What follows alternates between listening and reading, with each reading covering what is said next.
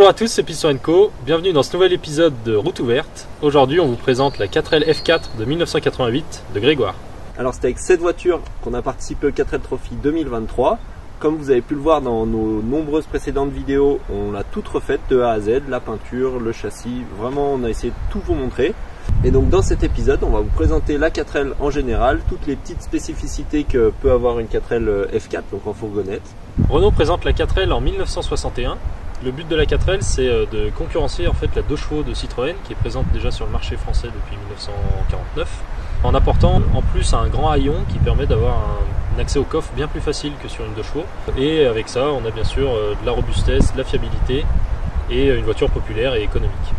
Alors la 4L arrive à la suite de la 4 chevaux et de la Dauphine dans la, gamme Renault. Contrairement à la 4 chevaux et la Dauphine qui avait un moteur à l'arrière et était en propulsion, la 4L, elle, elle a un moteur à l'avant et elle est en traction. Ce moteur à l'avant et le fait d'être en traction permettait à la voiture d'être plus maniable.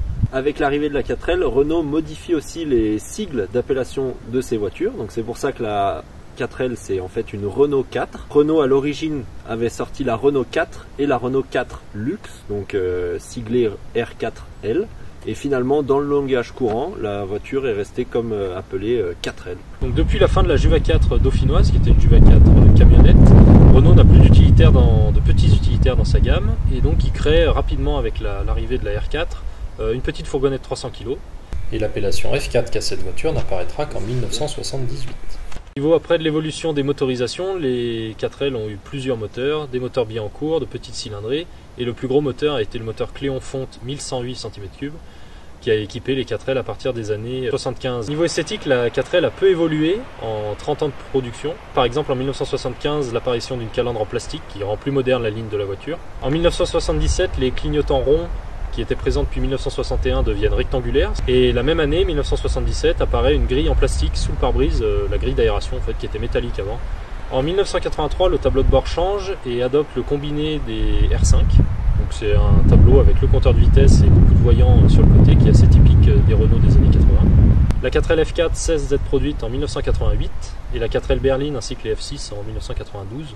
Comme les ventes s'essoufflaient dans les années 80, Renault a créé quelques modèles sympas, euh, donc c'est des séries spéciales. Euh, la jogging, la 60s, Et pour célébrer la fin de l'entièreté de la production des 4L, Renault a appelé la dernière série la série Bye Bye en 1992. Alors du coup, notre 4L, c'est une 4L de 1988, donc euh, la dernière année de production. Elle a toutes les dernières nouveautés possiblement présentes sur une 4L. Donc elle a la calandre en plastique à l'avant, la- l'aérateur en plastique aussi, elle a les freins à disque euh, à l'avant, elle a le gros moteur sous le capot qu'on va voir plus tard. Une autre spécificité sur les camionnettes, c'est qu'elle avait le silencieux dans l'aile. Donc là-dessous, on a le silencieux d'échappement. Et du coup, l'échappement, au final, il ressort ici. Ça nous a bien servi. C'était un bon avantage quand on est parti au trophy. Parce que on a vu énormément de 4L berline qui avaient le silencieux à l'arrière euh, se le faire arracher sur une bosse. Donc finalement, on a été plutôt bien loti de ce côté-là. En 2008, lorsque la voiture avait fait son premier 4L Trophy, les premiers propriétaires euh, trophistes de la voiture l'avaient décidé de la peindre en jaune. Et euh, on l'a rachetée, elle était encore jaune, plus abîmée que ça. Mais euh, on a décidé de reprendre exactement la même couleur. Finalement, on a bien aimé euh, cette couleur assez atypique et qui n'est pas très présente sur euh, le bivouac du 4L Trophy. Il n'y a pas énormément de voitures jaunes, donc c'était aussi un élément pour pouvoir la repérer.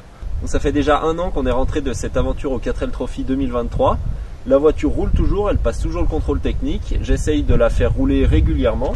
Il y a eu quelques petites modifications depuis notre retour. Par exemple, la galerie euh, a disparu, elle est en rénovation. On a enlevé aussi les plaques qu'on avait mis à l'avant. Il y avait une plaque euh, dessous qu'on ne voit plus du coup parce qu'elle n'y est plus. Oui.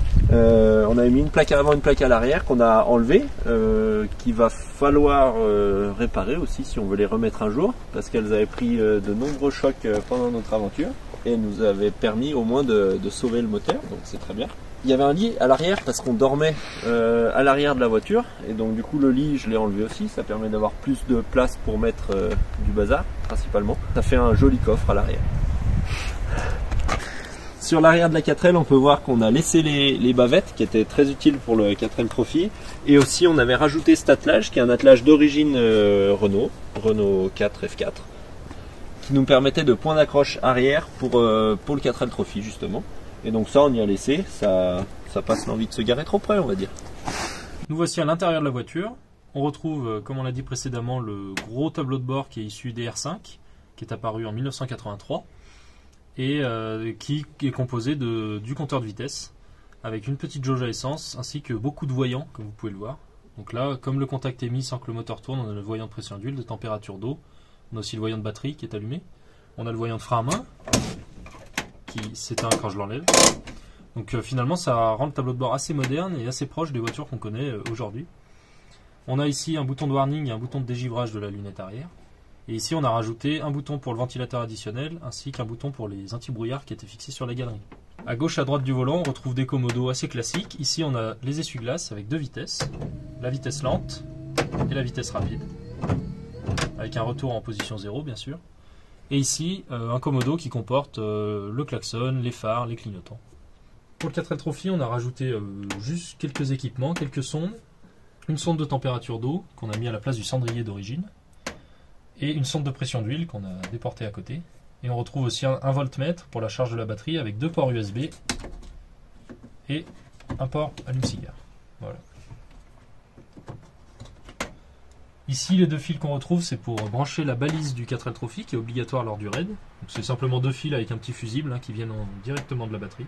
Et sous le pied gauche, vraiment là en bas, qu'on atteint avec euh, bah, le pied qui embraye, on a la commande de, lave-glace. Donc euh, quand j'appuie dessus, c'est une pompe à, pied finalement. Et on a le lave-glace qui est mal réglé et qui, arrive, qui arrive sur le toit, mais euh, qui est censé nettoyer la vitre. C'est assez précaire, c'est assez rudimentaire, mais ça a le mérite de fonctionner encore. On a ici un petit lampion, petit éclairage intérieur. Ça, c'est aussi de série. Donc euh, voilà, c'est rudimentaire, mais ça fonctionne parfaitement. Si je la tire, ça ouvre la trappe d'aération et ça fait venir de l'air dans ces deux petites trappes. Il y en a une pour le passager, une pour le conducteur, et on peut choisir euh, si on veut de l'air frais ou pas. Ça, c'est plutôt pratique. L'air chaud du chauffage arrive par ce gros combiné. Il y a un ventilateur, il y a un radiateur avec euh, l'eau du circuit de refroidissement du moteur qui arrive. Ici, on a le robinet d'ouverture si on veut du chauffage ou pas. Et ensuite, on a un interrupteur à deux positions pour avoir deux vitesses de ventilation. Et ensuite, avec le bouton qui est ici au-dessus, on peut choisir si on veut emmener l'air au pied, qui sort par ses bouches, ou alors au pare-brise, qui sort par ici. Donc sur toutes les 4 ailes, berlines ou camionnettes, on a euh, des vitres coulissantes, à l'avant et à l'arrière pour les berlines. Euh, sont simplement euh, des vitres qui coulissent dans un rail donc ce système d'ouverture, il est assez pratique, euh, malgré que la surface, une fois ouverte, soit pas énorme, et donc euh, forcément c'est un peu pénible euh, parfois. Le seul mécanisme qui retient la fermeture de la, vitre, c'est ce petit bitonnier en plastique qui est quand même assez fragile et avec un peu d'entraînement on arrive à ouvrir la vitre de l'extérieur. Pour le 4L Trophy on avait fait ce petit système qui vient se bloquer dans la vitre ça empêche mécaniquement l'ouverture de la vitre. Donc au moins euh, la voiture était euh, sécurisée. Il fallait juste penser à pas oublier ses clés à l'intérieur. On remarquera aussi que les sièges sont pas ceux d'origine, c'est des sièges d'origine euh, berline. Ces sièges sont légèrement plus confortables, c'est pas le summum du confort non plus, mais surtout ils ont des appuis-têtes. Et pour le 4L Trophy, vu qu'on faisait énormément de routes, c'était plus sécuritaire et plus reposant d'avoir un appui-tête le seul inconvénient, c'est que ce siège-là, euh, particulièrement le siège passager, ne peut plus se baisser, alors que sur le siège d'origine, il se baisse complètement pour avoir beaucoup plus de place de chargement euh, côté passager. On se retrouve maintenant à l'arrière de la 4L, donc vous voyez, en fait, il y a presque plus de place qu'à l'avant. C'était fait pour euh, charger sur à peu près c'est une sorte de carré en fait à l'arrière. C'est un cube de 1 mètre par 1 mètre à peu près on peut charger jusqu'à 400 kg euh, de charge à l'arrière. Rien de bien spécial, c'est une camionnette comme n'importe quelle camionnette. On a un petit coffre euh, juste derrière les sièges. Euh, à l'intérieur là pour l'instant on a deux vieux cardans qui seraient à rénover. Donc ça pouvait, c'est un petit coffre à outils, une petite malle à outils. Une fois qu'on a ouvert la porte, on a accès à l'intérieur de la camionnette, mais finalement le toit est encore plus haut que la hauteur de la porte elle-même. Et du coup, il y a cette option-là sur, euh, sur cette 4L, c'est un girafon, ça s'appelle. C'est la possibilité d'ouvrir plus haut et du coup d'accéder au maximum de la hauteur possible. Et il y avait aussi la possibilité de refermer la porte de rouler ouvert. Donc euh, à l'origine, il y a une euh, tige qui tient le, girafon en position ouverte. Et donc, comme vous le voyez, ça permet d'avoir des, choses qui dépassent de la camionnette en ayant quand même la porte fermée. Donc beaucoup moins dangereux pour euh, les gens qui suivent la voiture. À l'intérieur de la camionnette, on retrouve aussi un petit lumignon là qui fonctionne comme à l'avant en le tournant, qui permet un petit éclairage sommaire de la caisse. Il y a eu plusieurs versions de camionnettes, il y a des versions sans vitres sur les côtés. Et d'ailleurs, celle-ci, d'origine, ne devait pas avoir de vitres, mais on a, nous, deux vitres qui sont rectangulaires, assez longues, qui sont plutôt pratiques, bon, quand elles sont pas recouvertes par les autocollants, pour euh, voir notamment les angles morts et les voitures dans les ronds-points ou aux intersections. Et il y a aussi eu des modèles avec des vitres qui font en fait toute la taille de l'embouti ici. Euh, donc là, qui ont euh, bien sûr plus de lumière, par contre, c'est un peu plus contraignant lors du chargement de la voiture. Ça dépend un peu de l'utilisation. Et il me semble qu'elles n'ont elles ont pas euh, ce Elles n'ont pas ce montant, ouais. ouais. donc euh, qui vient rigidifier un peu le haut de la caisse. Donc l'arrière est pas en super bon état, mais c'est aussi euh, le but d'une camionnette, pas d'être en mauvais état, mais d'être fonctionnel. Et donc finalement, dès qu'on vient mettre un objet à l'intérieur, le retirer, le re- euh, remettre un autre objet, ben ça vient rayer un petit peu la peinture. Donc il y a, il y a des marques qui apparaissent au fil du temps. Et c'est propre à la vie d'une camionnette utilisée. Bien sûr, il faut pas se le cacher, la voiture a quand même quelques défauts, alors euh, qui sont pas majeurs, mais ça peut être embêtant. Par exemple, eh ben, la porte est très pratique parce qu'elle est large, l'ouverture est large, donc on est vraiment sur toute la largeur de la voiture. Sauf que finalement, du coup, pour ouvrir la porte, ben, on a besoin d'avoir pas mal d'espace à l'arrière. Donc si on est collé contre une autre voiture, on peut pas ouvrir la porte et on peut tout simplement pas accéder au coffre. Euh, en restant sur l'arrière, les suspensions à l'arrière sont très fermes, vraiment très fermes, sauf quand la voiture est chargée, quand on a euh, à peu près 200 kg de charge à l'arrière, euh, la voiture passe les dodanes euh, très facilement et elle est très douce sur la route. Mais l'inconvénient de ça, de pouvoir charger finalement pas mal l'arrière de la voiture, bah, c'est que quand la voiture est vraiment à vide, euh, elle rebondit beaucoup et elle est, euh, elle est très ferme à l'arrière. Et comme on vous l'a filmé à l'avant, euh, on n'a pas de rétroviseur intérieur, alors qu'il pourrait être très utile avec la grande vitre qu'on a à l'arrière. Et euh, ça pourrait être très utile pour euh, jeter un coup d'œil derrière, pour voir les voitures qui nous suivent. Et finalement, seulement les deux rétros extérieurs, qui sont eux-mêmes gênés par cette bosse sur la voiture, euh, fait qu'on n'a pas une visibilité énorme à, euh, à l'arrière et euh, on a des angles morts très importants. Donc euh, conduire en, en ville ou même sur l'autoroute, changer de voie, c'est assez technique. Donc au niveau de la mécanique maintenant, euh, comme on le disait tout à l'heure, on est sur le gros moteur, le plus gros qui a été monté sur les 4L, le Cléon 1108 cm3. Euh, donc c'est un moteur qui développe 34 chevaux à fond les ballons. Le moteur il est alimenté par un petit carburateur euh, Zenith de 28 mm. Il y a eu aussi des carburateurs de 32 mm mais qui étaient montés sur les moteurs de plus petite cylindrée. Et donc là, comme on a le plus gros moteur, on a un carbu qui est plus petit. Et ça nous fait une consommation d'environ euh, 7 à 8 litres au 100 euh, qui peut varier euh, moins ou plus suivant la route, la charge qu'il y a dans la voiture, la conduite aussi évidemment. Euh, c'est une voiture qui roule euh, franchement très bien, euh, malgré euh, la caisse derrière et puis la prise au vent un peu importante. Et ensuite, bon, bah, ce moteur vous l'aviez vu dans nos vidéos, on l'a refait. On avait fait quelques améliorations pour participer au 4L Trophy, pour fiabiliser la voiture, notamment avec un second ventilateur. Donc c'est le même ventilateur d'origine qu'on a placé avec euh, deux entretoises pour l'écarter en fait du premier ventilateur. Et on le déclenche manuellement avec le bouton qu'on vous a montré au tableau de bord. Ensuite, euh, on a ajouté un allumage transistorisé qui fiabilise euh, l'allumage puisqu'on supprime le condensateur d'origine et on réduit le courant qui passe dans l'érupteur. Donc ça fait moins d'usure sur les pièces, moins de réglages à faire et euh, une plus grande fiabilité sur toute la plage de régime du moteur. Comme on vous l'a dit tout à l'heure, on a ajouté une sonde de température d'eau. On la voit pas trop, elle est ici, Et caché derrière. voilà, sur la plaque qui est derrière la culasse. C'est en fait le point le plus chaud du moteur ici, puisqu'on est sur le cylindre 4 qui est le plus éloigné de la pompe à eau et du radiateur. Donc euh, c'est là qu'on aura tendance à le plus chauffer. C'est pour ça qu'on a mis la sonde ici. Et on a rajouté aussi ici une sonde de pression d'huile à la place d'un bouchon qui est à l'origine sur le moteur, avec un adaptateur spécial qui permet de se reprendre sur le filetage du moteur et euh, visser dedans euh, notre sonde. Donc c'est les seules modifications, on va dire, si on peut parler de modifications qu'on a apportées à la mécanique pour participer au 4L Trophy. c'est surtout de la fiabilité. Et le gros souci qu'il y a lors du 4L Trophy, c'est les surchauffes parce que les moteurs sont pleins de crasse et on leur demande quand même pas mal à rouler sur l'autoroute. Donc ils finissent par chauffer. Et nous, on n'a pas eu de problème puisqu'on avait, comme vous l'avez vu dans notre vidéo de réflexion du moteur, nettoyé autour des chemises. On avait déposé les chemises et bien nettoyé le bloc moteur ainsi que la culasse. Euh, pour être sûr en fait que notre moteur en lui-même ne puisse pas surchauffer. Et on avait vérifié l'état de la pompe à eau et puis la propreté du radiateur aussi. Et donc voilà, on n'a pas eu de, problème de surchauffe euh, durant les 7000 km du, du raid. On peut remarquer que l'intérieur est quand même assez sale. En fait, le, sable, il, est resté vraiment accroché de, partout. On le voit, on avait tout repeint en blanc l'intérieur avant de remettre le moteur. Et finalement, le sable, il est venu s'accrocher dans tous les angles, dans tous les coins qu'il pouvait. Et il n'a pas envie de repartir donc il, reste avec nous, on le transporte.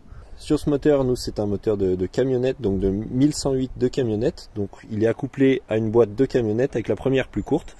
Il y a eu trois sortes de boîtes différentes euh, qui, se, qui se mettaient sur les moteurs Cléon. Il y avait euh, la première boîte, boîte de camionnette avec la première plus courte. Après, il y avait la boîte classique avec tous les rapports classiques. Et ensuite, la boîte qui était sur euh, les sur les GTL, exactement. Et donc la boîte sur les, GTL, c'était la quatrième qui était plus longue. Et euh, finalement, avec ces boîtes plus longues, on pouvait atteindre 130 km/h facilement, assez facilement. Donc on n'a pas rencontré de grosses pannes lors du 4L Trophy, ni au niveau châssis, ni au niveau euh, mécanique. On a juste eu en fait euh, deux courroies qui ont lâché, courroies de pompe à eau. On s'en est aperçu heureusement assez tôt, puisque ça faisait une grosse odeur de caoutchouc brûlé. Et on a le voyant de batterie qui s'allumait puisque l'alternateur n'était plus entraîné. Et on a eu bien sûr la sonde de température d'eau qui s'est euh, affolée, on est monté dans le rouge, mais on a eu le temps de s'arrêter euh, à temps. L'eau était montée dans le vase d'expansion au maximum. On a eu un peu peur sur ce coup-là, et en fait, euh, on a des courroies qui finissent par lâcher tous les tous les 3000 km environ.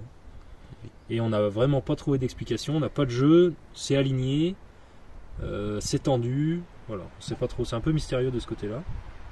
Et euh, une autre panne qu'on a eue, mais ça c'est encore une fois, c'est notre faute, c'est une panne sèche sur l'autoroute marocaine. Grosse panne sèche, euh, il a fallu aller chercher de l'essence au Maroc, alors qu'en plus c'est interdit de ramener de l'essence dans des bidons. encore une anecdote à raconter. mais à, notre décharge, la, la jauge à essence n'est pas non plus très très précise, donc finalement on pensait avoir encore un peu de marge et on n'en avait plus du tout. Et à part ça, eh ben, la voiture s'est montrée vraiment très fiable. Euh, on avait aussi passé beaucoup de temps à la préparer avant le raid, donc euh, finalement, heureusement qu'on n'a pas tout cassé pendant le raid parce qu'on aurait été un peu dégoûté. Mais là, voilà, tout s'est bien passé, donc on est vraiment content de ce qu'on a fait sur la voiture. Quand on a repeint la baie moteur de la 4L, on a souhaité conserver ces petits autocollants qui sont euh, caractéristiques de, l'époque de la 4L. Donc les petites notices importantes, euh, l'huile préconisée, puis ici euh, les pressions, les pressions de freinage. Comme toutes les voitures de course, le capot de la 4L s'ouvre vers l'avant. Et en fait, c'est pas pratique parce que on n'a qu'un accès assez réduit sur le moteur et on est gêné par les ailes finalement pour accéder au-dessus du moteur. Mais vu que la 4L ne tombe pas souvent en panne, c'est pas grave. Euh, à l'avant, donc caractéristique de cette dernière génération de F4, c'est les freins à disque à l'avant, reconnaissables par les jantes ajourées euh, au niveau euh, des freins. Donc c'est des jantes vraiment différentes de celles avec les freins à tambour. On ne peut pas les, changer. Les, jantes de frein à tambour, elles viennent frotter sur les disques et quelques personnes ont eu des soucis avec ça. La, jante se découpe complètement au, niveau des boulons. Et du se, décroche. Ça peut être assez dangereux. Et donc pour continuer sur la jante, on va parler même du pneu. On a choisi ce type de pneu là. Donc c'est des pneus hiver. Euh, qui ont des crampons du coup assez prononcés, mais qui restent assez confortables à rouler sur l'autoroute sans nous faire une augmentation de consommation euh, monumentale. Et euh, dans le sable ou dans la boue, ils sont plutôt maniables et adhèrent bien sur tous les terrains possibles. et ils sont assez résistants aussi, ils résistent bien aux cailloux. Bah, par exemple, on n'a pas crevé euh, une fois pendant tout notre trajet, euh, pendant nos 6000, euh, plus de 6000 km jusqu'au Maroc. Après la présentation de la voiture en général, on va maintenant partir pour un petit essai routier.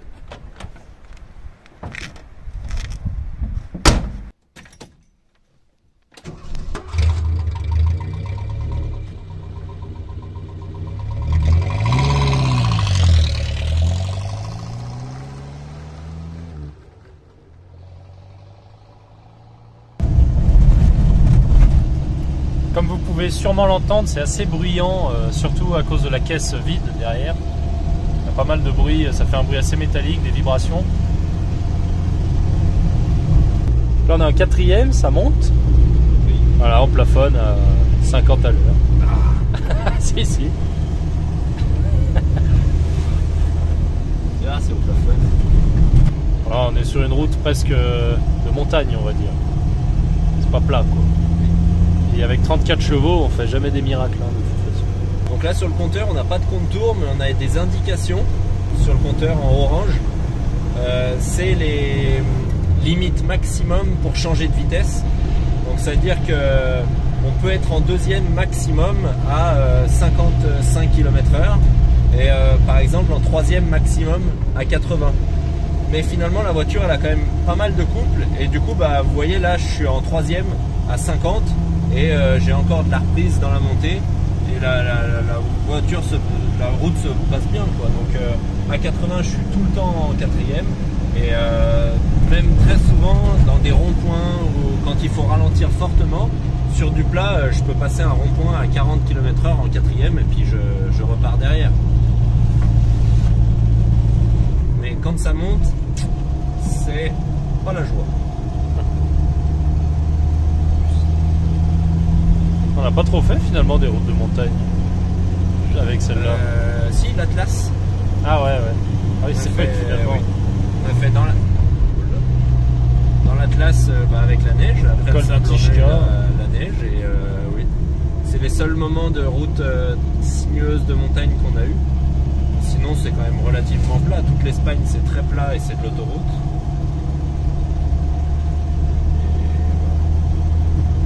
C'est vrai que à l'aise euh, sur du sable que sur l'autoroute, que euh, sur des routes de montagne comme euh, ici et comme on a plus par chez nous.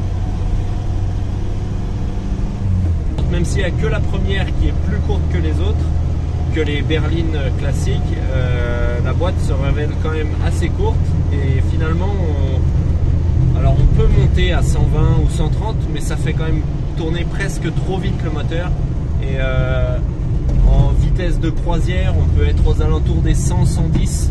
C'est une bonne vitesse de croisière sans faire tourner trop vite le moteur.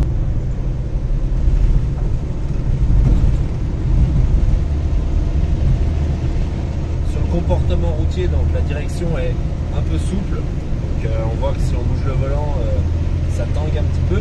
Mais finalement en virage, la voiture elle se comporte plutôt bien. Elle reste assez à plat, elle penche pas trop. Et euh, on est plutôt serein dans les virages,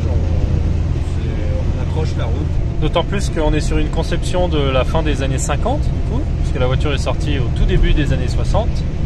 Et euh, malgré qu'on soit dans un modèle de 1988, avec bien sûr des évolutions euh, bah, qui sont liées surtout au confort de l'usager, avec des commandes différentes et l'utilisation de pas mal de plastique, et eh ben déjà à l'époque ils avaient fait une très bonne voiture, une très bonne fiabilité, une très bonne tenue de route, et puis euh, économique aussi bien à l'usage et encore aujourd'hui euh, à l'entretien. Elle consomme pas d'eau, elle consomme pas d'huile, un petit peu d'essence et c'est tout.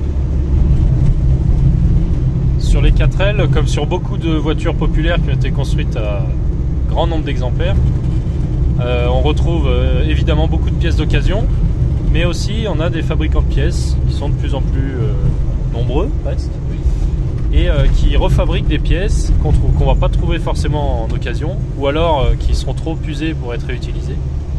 Et ça permet de maintenir les voitures euh, bah, dans des états plus que corrects, voire d'en refaire des neuves.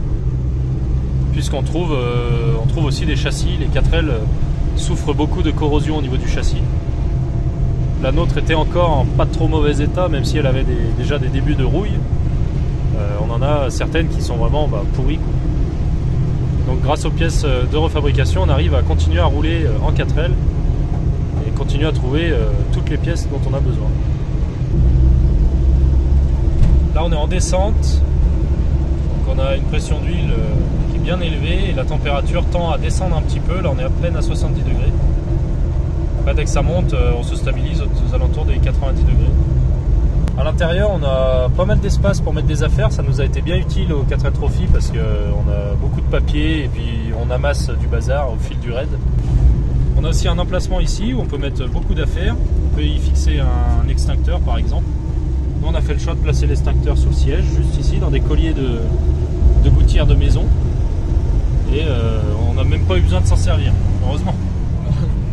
Sinon, on roulerait pas avec aujourd'hui. Moi aussi de mon côté j'ai des rangements, j'en ai euh, sous le volant, aussi un petit à gauche et puis euh, dans la porte, dans la portière j'ai un rangement avec mes, mes blocs, blocs vitres. Là nous voilà en route, on est sur des petits chemins, on vient là volontairement pour montrer un petit peu les capacités de la 4L, à faire du franchissement si on peut appeler ça du franchissement.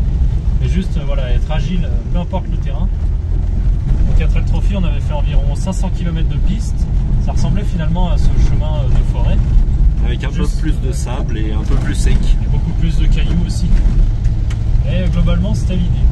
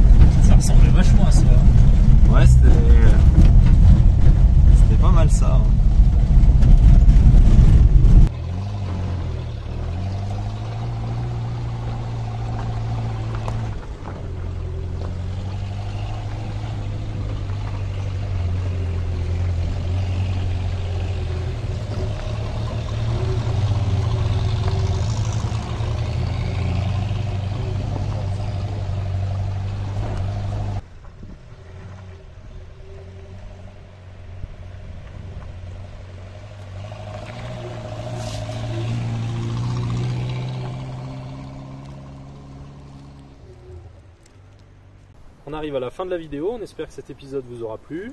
On a pu vous présenter notre petite camionnette qui nous a permis de participer au 4L Trophy l'année dernière. Donc avec elle, on a, après un an à peu près de rénovation, on a parcouru environ 7000 km lors du raid et euh, Grégoire continue de rouler avec. Exactement. Donc voilà, donc ça c'était une version, c'est la, dans la dernière année de production des 4L F4, donc il y en a bien sûr des plus anciennes. Euh, voilà, on vous a présenté la, plus aboutie, la plus évoluée finalement des, versions de F4 et on espère que cet épisode vous aura plu. On se retrouvera dans des prochaines vidéos, soit des routes ouvertes, soit des vidéos de, rénovation. Donc toi c'est Lapin Art, moi je vais essayer d'attaquer un autre projet qui va arriver bientôt. De nouvelles vidéos arriveront euh, prochainement sur la chaîne. Bon week-end